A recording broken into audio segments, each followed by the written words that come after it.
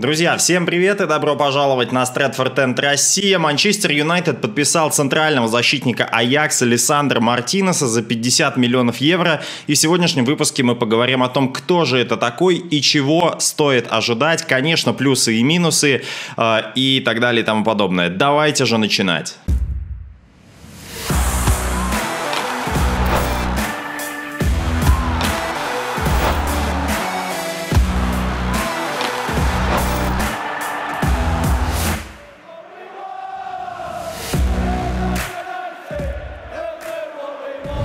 Итак, Лиссандро Мартинес, левый центральный защитник Аякса, перешел в Манчестер Юнайтед э, за сумму в 50 миллионов евро. Э, собственно, клуб уже официально объявил об этом, контракт на 5 лет. Кто такой Лиссандро Мартинес и почему Тенхак за него зацепился? Давайте начнем с профиля футболиста, он сейчас на ваших экранах. Итак, Лиссандро Мартинес, 24-летний аргентинец, левоногий. Что мы про него знаем? Обратите внимание сразу на антропометрические данные. 175 сантиметров рост, 77 килограмм вес это минус скорее. Об этом чуть позже. А, сильная нога. Здесь заявлено, что он обеими ногами играет неплохо. Мои наблюдения также это подтверждают. Но вообще а, Лиссандр Мартинес, конечно же, изначально а, левоногий игрок. Контракт у него истекает с Манчестер Юнайтед в 2027 году. Пятилетний контракт. По национальности он аргентинец. Давайте посмотрим на его карту чуть поближе. Это то, где он действовал в прошедшем сезоне. Его тепловая карта карта, мы видим то, что а, центральная зона и ближе, наверное, к левому флангу а, все это как бы стремится. А, какие есть плюсы и минусы у Лиссандра Мартинеса? Ну, первый плюс или минус, считайте сами, метр семьдесят пять рост. Для сравнения такого же роста был Фабио Канавара, чуть выше был Карлес Пуйоль. Но все это было достаточно давно, ну, точнее, лет 10 назад играли и Пуйоль, и Коновара. Коновара еще, ну, там более давно но в текущем футболе подобных защитников с таким ростом не так уж много. И учитывая то, что Лиссандро Мартинес будет выступать за Манчестер Юнайтед в английской премьер-лиге и под тем давлением, э, с которым он будет сталкиваться, особенно учитывая э, высокорослых форвардов, например, э, Холланда и Дарвина Нуниса, которого, которых подписали лидеры чемпионата Ливерпуль и Манчестер Сити соответственно, плюс какой-нибудь Крис Вуд из Ньюкасла, Джой Лингтон из Ньюкасла, Ньюкасла и вообще достаточно много рослых ребят в английской премьер-лиге.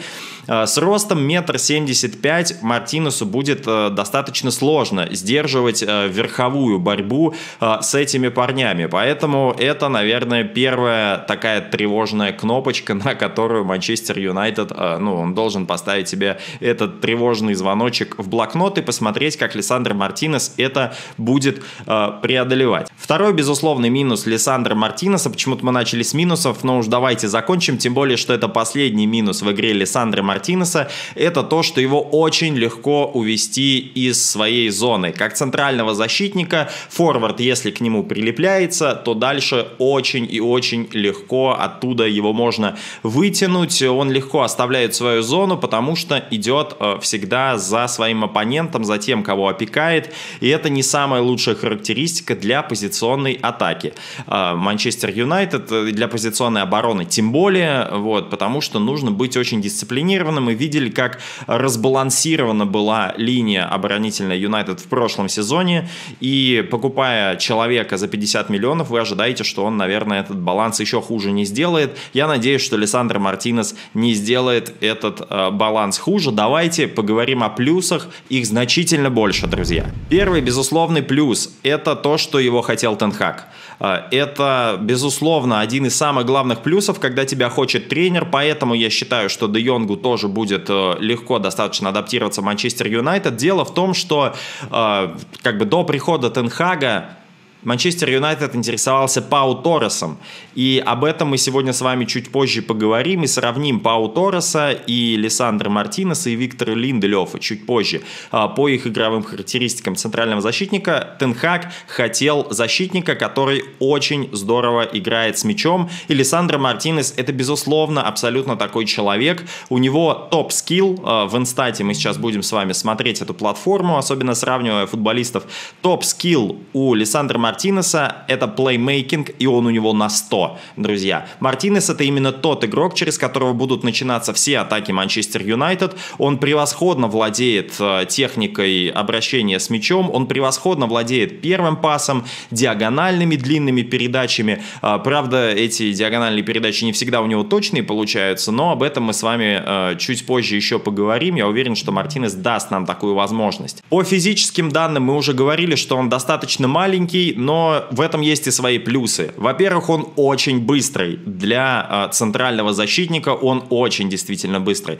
Во-вторых, интенсивность, которую дает Мартинес э, и в единоборствах в том числе, она позволяет ему, э, ну не то чтобы выходить сухим из воды при подобных габаритах, но так или иначе его смелость, его вот этот вот настрой, с которым он идет, вы наверняка слышали интервью, где он говорил то, что меня называют мясником, и если нужно будет перешагивать через трупы для победы, я это обязательно сделаю. Заявление очень громкое, но это именно символизирует манеру игры Мартинеса. Он действительно человек, который кидается во все э, единоборства, который не щадит себя, который постоянно борется. Э, если хотите, это нечто среднее между Эриком Баи и Маркосом Роха. Э, то есть это не та безбашенность, которая была у Роха, но при этом это та самоотверженность, с которой идет Баи, э, в купе с немножко с осознанностью, э, которая все-таки у Мартинеса, наверное, чуть побольше, чем у бои, потому что бои бывают, ну, совершенно безрассудные вещи какие-то вытворяет возле своей штрафной, там, игра пятками и так далее. У Лиссандра Мартинеса этого нету. Это очень э, хороший центральный защитник э, с малыми габаритами, очень комфортно себя чувствует на игре с мячом и очень активно участвует в build-up е. Говоря о build-up е, давайте посмотрим, э, каким образом строился build-up, то есть игра от своих ворот. Э, если мы разыгрываем мяч, вы наверняка заметили то, что в предсезонных матчах Манчестер Юнайтед очень часто разыгрывает мяч, а не выбивает его куда-то далеко в надежде там на высокого форварда. От ворот чаще всего Давид Де Хеа пасует на своих центральных защитников. А, и вот как э, Тенхак строил э, свое развитие игры от своих ворот. Здесь мы видим то, что фактически три футболиста всегда есть в основании этого всего. Это Лиссандр Мартинес, это Дейли Блинд ближе к нам практически всегда. И на дальнем фланге это Мадура, это второй центральный защитник, партнер Мартинеса а, по, собственно, обороне. И благодаря этому, ну, и благодаря опыту игры Дейли Блинда на э, позиции центрального защитника, благодаря этому, возможно, и получалось так здорово разыгрывать мяч. Э, то есть здесь большой высокий прессинг уже применить у соперника не получится, потому что варианта у Мартинеса три. Это отдать назад вратарю, отдать направо, отдать налево, да даже четыре на самом деле, потому что вперед тоже вполне себе можно отдавать. А, так что Мартинес явно будет одним из ключевых э, футболистов, кто будет разыгрывать этот мяч у Тенхага.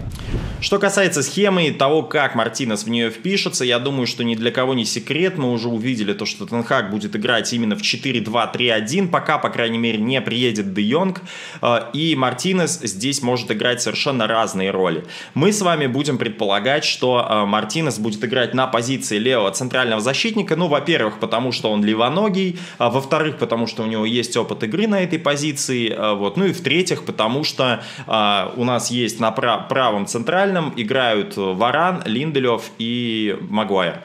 А, собственно, три правых центральных защитника профильных есть и один левый профильный. И, собственно, это немножко напоминает философию Луи, который покупал Маркуса Роха а, для того, чтобы у него был левый центральный защитник, левоногий. Но просто Маркус Роха был ростом метр восемьдесят семь, на секундочку, а Мартинес метр семьдесят пять. А, по-прежнему есть большие сомнения относительно его роста, и мы будем с вами к ним постоянно возвращаться.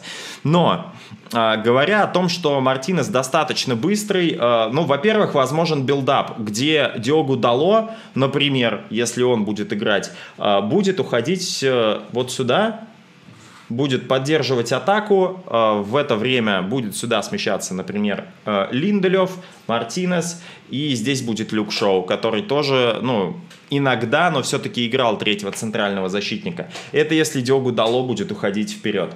Если вперед будет уходить, например, здесь э, Тайрел Маласия, то тогда Мартинес может оставаться здесь. Здесь будет играть э, Диогу Далот, возвращаться сюда. Здесь какой-нибудь Магуайр, Линделеф, Варан э, и так далее. То есть build-up будет в три человека. Тогда э, сюда может подключаться вторая десятка, то есть Бруно и Скотт Мактоминой, например. Э, здесь будет оставаться Фред, Э, это, ну, как бы, если мы говорим про тех футболистов, которые сейчас есть в Манчестер Юнайтед, в идеале, конечно, здесь Де Йонг должен быть. Вот. И при этом э, очень много человек в атаке. Посмотрите, сколько. Раз, два, три, четыре, пять, шесть. Э, еще Фред может поддерживать. И все это, ну, то есть, если мы поднимем сюда линию обороны еще, а Мартинес любит подниматься, особенно вот на эту позицию, и помогать атаке отсюда. Э, если мы поднимаем линию обороны, то получаем уже очень компактность хорошую. И при этом прессинговать вот эта вот вся команда может вполне себе здорово. Ну и помимо всего прочего, Мартинес же не обязательно должен играть на позиции центрального защитника. У него есть небольшой опыт игры левым защитником. Но я понимаю, что вы мне сейчас напишите в комментариях, Телес, Шоу, Маласия, еще и Мартинес. Четыре человека, где-то там Брэндон Уильямс. Пять человек на позиции левого защитника. Очень много. Поэтому я допускаю, что все-таки Мартинес будет начинать на позиции левого центрального. А, но также возможно, что мы будем играть в три центральных защитника, друзья. И тогда, например, Тайрел Маласия будет а, становиться вингбеком. А, здесь будут, например, Мартинес, Магуайр и Линделев. А дальше здесь здесь уже будут, ну, например, Фред Мактоминой, Маласия, здесь может играть Джейден Санчо, и вот таким вот образом э, где-нибудь здесь Бруно Фернандеш, Дони Ван де Бек и Маркус Решфорд или Антони Марсиаль. Э, вполне может быть и вот такая вот расстановка, похожая на 3-4-3 с двумя латералями. Санчо не очень подходит действительно роль латераля, но э, тем не менее Мартинес способный играть на позиции левого центрального в три центральных защитника тоже, возможно, в каких-то матчах нам понадобится. А, давайте об этом, друзья, подумаем и пообсуждаем. Напишите в комментариях, что вы думаете, будем ли мы вообще играть с тремя центральными защитниками, когда у нас приезжает Мартинес или нет. В блоке статистики предлагаю сравнить четырех э, футболистов Лиссандра Мартинеса, Пау Торреса, Виктора Линделёфа и Рубена Диеша. Все четыре не самого высокого роста, все четыре, э, ну, за исключением Пау Торреса, естественно, все четыре очень здорово играют на мяче. Пау Торреса мы интересовались. Виктор Линделёв один из лучших защитников Юнайтед, который э, хорошо обращается с мячом. Рубен Диеш, э, наверное, тоже э, как один из лучших в ВПЛ, поэтому я решил взять этих четверых и сравнить. Конечно, мы убираем убираем уровень лиги из уравнения и просто смотрим на статистику.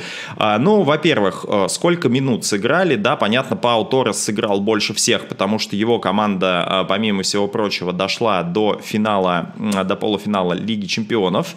А, да, у Рубен Диэш не так часто играл, но, в принципе, у Диэша, Линделёфа и Мартинеса сравнительные цифры. А, Мартинес ран достаточно вылетел из Еврокубков. Голы Пау Торрес забил больше всех, но он им по антропометрии э, достаточно всех э, превосходит. По голевым передачам Рубен Диош э, здесь на первом месте, но у Мартинеса 4. Обратите внимание за сезон. По собственно, ударом поворотом в среднем за матч вы видите то, что э, в среднем за матч Александр Мартинес наносит точнее всех. На следующую строчку переходим удары поворотом. Ну, минимум один удар от центрального защитника это вполне себе нормально. Э, я вообще удивлен, почему у других нету хотя бы близко такого же показателя, потому что угловые э, все подают, но Мартинес, понятное дело, не являясь самым высоким парнем, тем не менее один удар поворотом наносит, в среднем совершает 79, друзья, передач за 90 минут. И это очень хороший показатель. А, в среднем у нас а, столько же передач совершает, наверное, Бруно Фернандеш. Поэтому Точнее, у Бруно этот показатель в районе 87, наверное, где-то э, на 90 минут. Но так или иначе, это достаточно хороший показатель, позволяющий оценить, насколько Мартинес вовлечен э, в построении игры. А, точность 92% а, только у Рубена Деша больше, ну 92 и 95 не такая уж большая разница. У всех показатели плюс-минус одинаковые. А, меньше всех потерь мяча включая на своей половине поля у Рубена Диэша, он по этим двум показателям лидирует. А, обратите внимание, то, что здесь а, у Пау Торреса показатель очень высокий по потерянным мячам, и на своей половине поля также Пау Торрес больше всех теряет мяч. А, Виктор Линделев здесь выглядит чуть надежнее, чем Мартинес, но вот видите, у Мартинеса такой грешок, к сожалению, вводится за ним, но это благодаря тому, что он вовлечен очень сильно в, в как бы атакующие начала атак атакующий начало атак, друзья. Э, я думаю, что вы поняли, о чем я говорю. Ball recoveries 10 в среднем за матч, это достаточно много. Посмотрите, он практически в два раза э, превосходит э, Мартинеса, ой, Торреса и Диаса. У Линделёфа схожий показатель. Это говорит о том, что человек пытается, пытается, пытается снова. Даже если он промазал или отдал неточную передачу, или его партнер отдал неточную передачу, он как бы может перехватить мяч и восстановить владение мячом. И что очень важно, он это делает э, практически два раза э, успешно на чужой половине поля за 90 минут. Это действительно говорит о том, насколько... Э, почему Тенхак его так ценит? Потому что вот эти показатели действительно для Тенхага очень важные. Как только мы теряем мяч, насколько быстро мы его можем себе вернуть. И вы видите, насколько здесь превосходит Мартинес своих оппонентов. Дальше, единоборство и верховые единоборства, и оборонительные единоборства. Это очень интересная тема для дискуссии, друзья, поэтому напишите, э, что вы думаете по этому поводу, потому что единоборство, в которое вступает Лиссандр Мартинес в среднем 15, в полтора раза больше, чем Пау Торрес и, э, собственно, Рубен Диаш. 15 единоборств вступать в 15 единоборств э, за 90 минут – это достаточно большой показатель. Но помимо всего прочего, 72%, э, если мы берем все единоборства, у Мартинеса выигрышные даже больше, чем у Диаса, даже больше, чем у Пау Торреса, у которого 67 при его габаритах. Э, лидером здесь Виктор Линделев является, но фактически показатель одинаковый у Линделева и у Мартинеса. А дальше мы берем attacking challenges, то есть ну, как бы в атаке единоборство. Здесь, понятное дело, Пау Торрес выделяется, но на втором месте идет Мартинес. Дальше, если мы берем Air Challenges и uh, Success Rate, да, собственно, 5,6 больше, чаще всех вступает со своим метр 75, чаще всех Александр Мартинес вступает э, в верховые единоборства и выигрывает их, э, ну, примерно 3 из 4 но не 3 из 4, 2,5 из 4, вот так. 69% это очень здорово, учитывая его габариты, это очень здорово.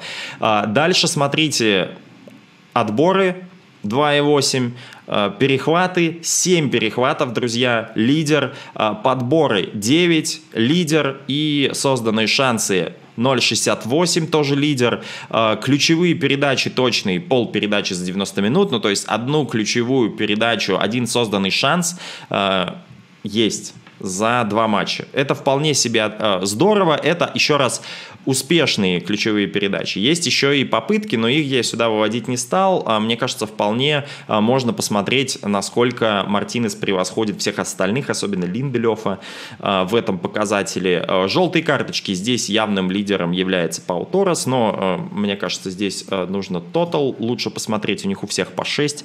На самом деле не знаю, почему усредненные показатели были чуть другие. Ни у кого нет красных карточек.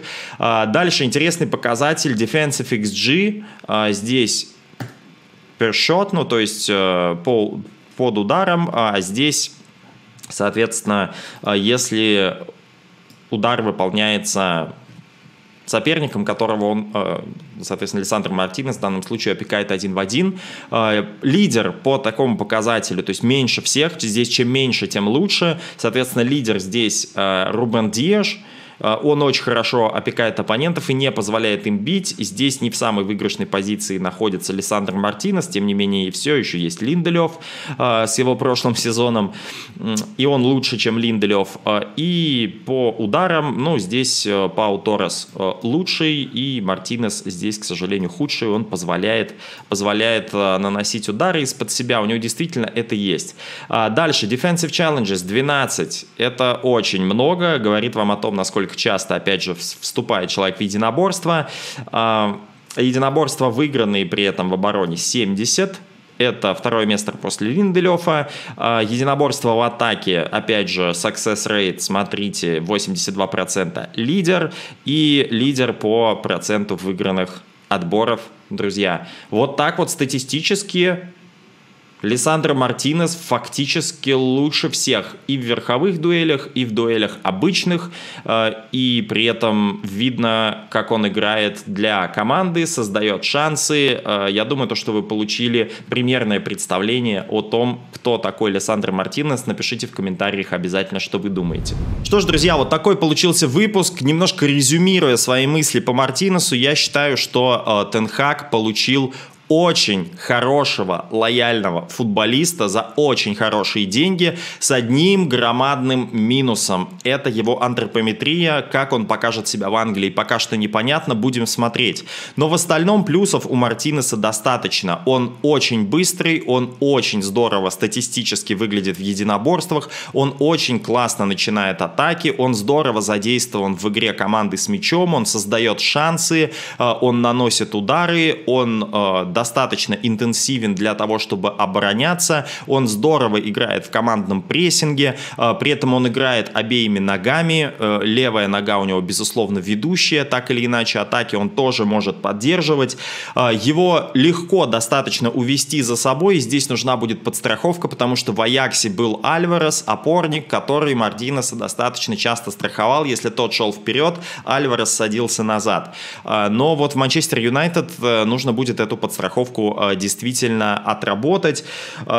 Еще один минус, на самом деле, о котором мы не поговорили, это то, что достаточно часто, когда игра идет очень быстро, Мартинес бывает теряет своего оппонента. Это не самая лучшая история для Англии, потому что футбол в Англии быстрый, и вы можете очень легко своего оппонента, которого вы кроете, потерять. Вот во всей этой сутолоке я надеюсь, то, что Тенхак э, хорошо поработает с Мартинесом, э, отстроит подстраховку, плюс универсализм Мартинеса, его возможность играть на фланге, его возможность возможность играть в опорной зоне. Мы об этом не говорили, и я думаю, то, что этого не случится. Но так или иначе, теоретически это возможно. Э, играть вот такого человека, который будет вычищать и при этом начинать атаки, э, вполне себе допускаю, что если придет Де Йонг, возможно, Мартинесы где-то и там же будут задействовать. Э, в общем, вопросов пока Де Йонга нету очень много. И пока Лисандро Мартинес не получил разрешение на работу и не приехал в турне, я думаю, то, что он не будет играть с Астон Виллой в субботу. И собственно, мы увидим его только в матчах, например, с Райо Вальекано и Атлетико Мадрид, которые будут уже проходить на европейской части э, нашего континента, они в Азии. Э, собственно, вот такой получился... Угу. Собственно, все по Лиссандро Мартинесу. На мой взгляд, очень хороший трансфер. Друзья, свое мнение пишите обязательно в комментариях. Если вам нравится контент, ставьте лайк, подписывайтесь на нас, делитесь ссылкой с друзьями, чтобы нас становилось еще больше и больше. И, конечно, колокольчик не выключайте, потому что стримы после матчей будут продолжаться, друзья. А, у меня же на этом все. С вами был Алексей. До новых встреч. Пока-пока.